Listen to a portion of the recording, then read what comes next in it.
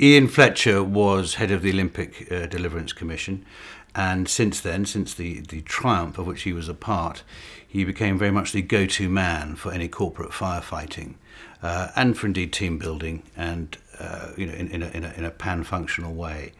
Uh, and it was only a matter of time before the BBC, which had been offered a lot of learning opportunities in recent years, uh, reached out uh, for a new head of values and uh, Ian was the was the man for the job. I mean, there was a, a fantastic team that were, were at the ODC.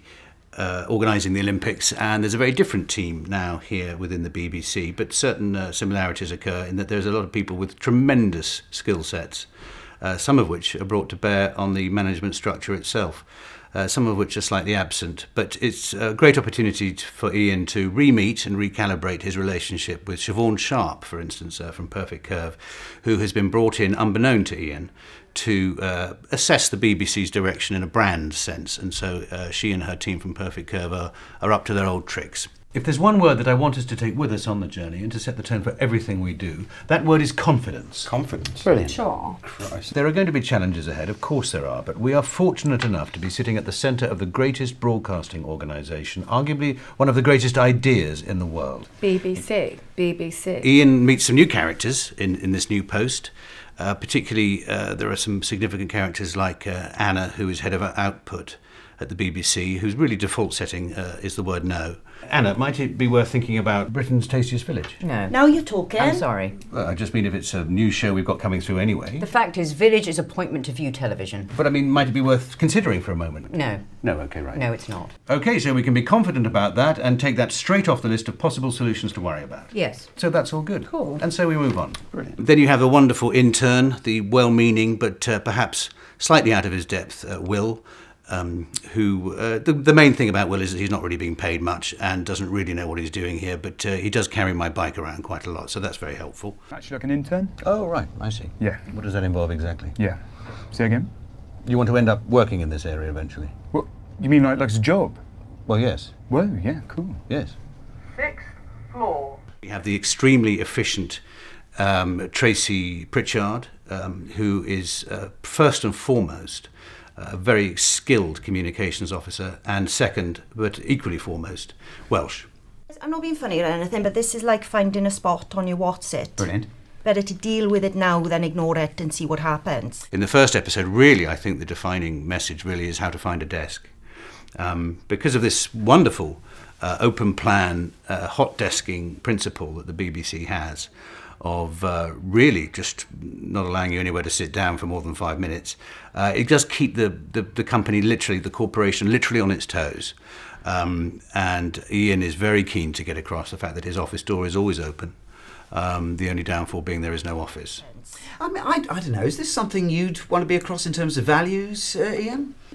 Yes. I'm just thinking. No, absolutely. Because if anything, it's probably more a values Yes. issue, you know, rather than No, yeah. rather than anything else. Yes, no, I mean, yes, absolutely. Good, good. So I should probably just mention that to Tony this afternoon. Uh-huh. Okay, great, goodo. This is all going terribly well.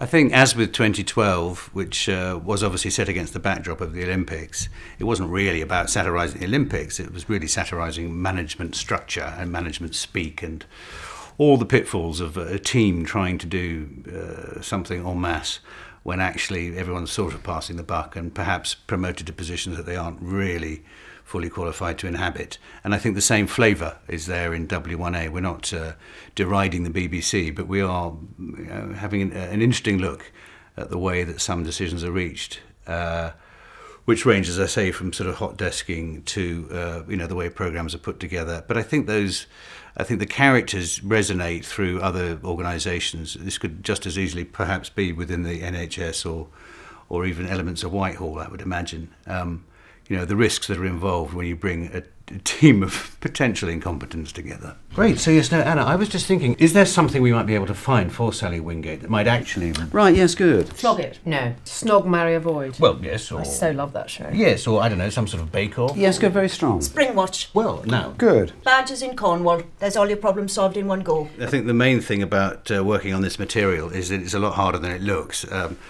John Morton's style is very, very specific. So every um and and and odd word that you hear is not a mistake. It's it's all there intentionally because John has a fantastic ear for the absurdities of the way that we speak or try to communicate and usually fail to. So you, you'll often hear people in in, in the dialogue talking what appears to be nonsense, but with great conviction And uh, only on reflection do you realise that it was complete nonsense. But everyone's left the room thinking they've achieved something. Most of the time they haven't. Um, and trying to get that right is actually a lot harder than it looks. So we spend a lot of time pretty much holding hands in a circle of goodwill, trying to get the uh, the rhythm of the scenes right because it is rather orchestral. I've said this before about 2012. John writes in a certain way that is very uh, rhythmic, and um, you, if you lose the rhythm of a scene, the whole thing sort of falls apart, and you get sort of atonal chords in in your orchestra. Um, so we're we're always trying to to get that better. So you, you basically spend your entire day running lines, running lines, running lines, running lines.